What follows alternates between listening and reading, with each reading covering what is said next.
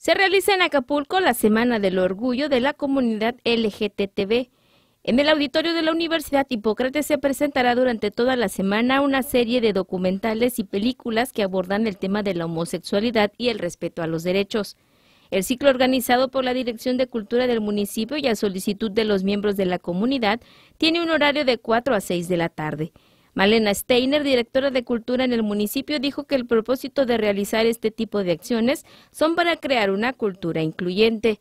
Tenemos que ser incluyentes, la cultura debe de ser así, hay que darle eh, voz a todo mundo y, que participe, aparte de disfrutar eh, de un evento cultural, bueno, también pueden participar y bueno, ese ya será tema de, participación en cuanto a talleres, eh, producciones, etcétera.